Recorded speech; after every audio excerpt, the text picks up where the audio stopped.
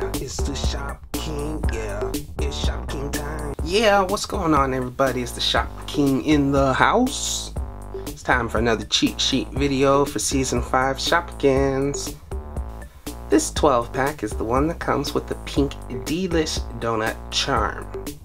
But what's the other charm? And what's in these blind bags? Wouldn't it be cool if there was some way to find out what the hidden Shopkins are? Eh, alas, there's nothing that can be done. Oh, but wait, there is. All you gotta do is look. And you'll know. Alright, well, we're gonna look and we're gonna know and you're gonna know. So if you see this in the store, you'll know exactly what's in here. Is this something cool? Is it electric glow? Is this something lame? Let's find out. Oh, but first, let's uh let's tell you what else is in here.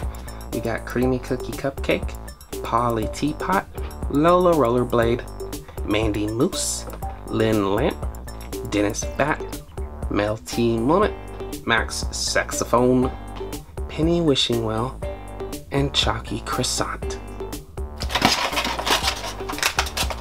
And the charm is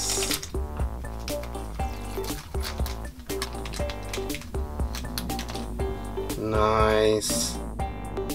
This is the metallic Polly Polish.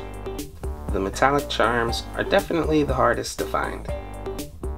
So this may be a good pack. Alright, let's see what's in the pink bag. Oh, it's Howard Power Board. This is actually a really cool Shopkin. I guess I'm a little disappointed because I got him in the last 12 pack I opened. Oh, it would have been cool if this was pink. I need the pink one.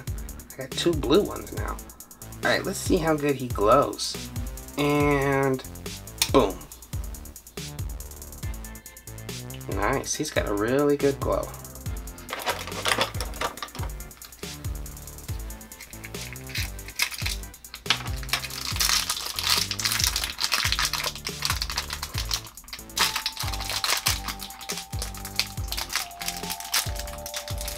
We got fruit cute jello.